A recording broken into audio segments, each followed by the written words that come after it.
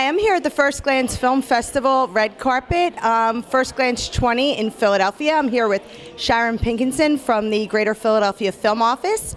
Um, Sharon, thank you for coming out. Sharon has been a great supporter of First Glance since the beginning, and um, we're happy to have her here tonight. Sharon, um, can you let folks know uh, a little bit about First Glance Film Festival? Absolutely. So, um, so I think it's been about more than 20 years since um, uh, Bill walked into Bill Ostroff, the founder, walked into my office and said he was starting a film festival for basically new filmmakers who haven't had a chance to show their films publicly in a festival kind of setting and it was like okay you know give it a try. We were happy to support it and here we are 20 years later. Uh, it's now on on two coasts. It's in la as well as in philadelphia. We love the fact that it's philadelphia and la it's perfect. And um, and it's it's been a great launching pad for so many uh, emerging filmmakers. Uh, we're really so proud to support it here uh, at the Greater Philadelphia Film Office and to let people know about it. So we're really excited for you. Congratulations. Thank you. So, Sharon, what do you think is unique about the First Glance Film Festival? Oh, the thing that I love about First Glance is that it's not about trying to find the great next gigantic two hour movie.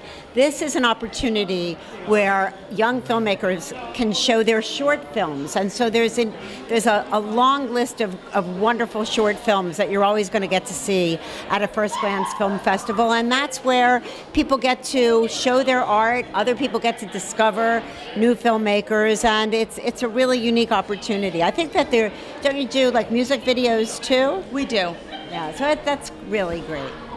So, uh, anything new in the Philadelphia uh, film scene that you'd like to uh, let us know about? Yes, of course. We um, we just started principal photography on Monday. Um, today is Friday, so on Monday we started principal photography on M Night Shyamalan's new film Glass. Um, Glass is the third film in the trilogy that started with one of my favorite films of all time, Unbreakable. The follow up film was released just this January. It's called Split. And if you haven't seen it, you must see it. It's, it's a sensational movie. And so uh, Night's doing the third film in the trilogy, and it's called Glass and it Glass apparently for Mr. Glass, which was Samuel L. Jackson's character, and all the actors in the film are back for the movie. So from both of the movies. So it stars Bruce Willis. And even the actor that played his son in the first movie is now 18 years later is playing his son again in the movie. Um, Samuel L. Jackson, of course, as Mr. Glass.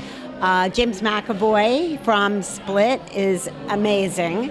Uh, Anya Taylor Joy. The new member of the cast is Sarah Paulson, which we're all so incredibly excited to have her working on this movie and being in town. It's, it's going to be fun.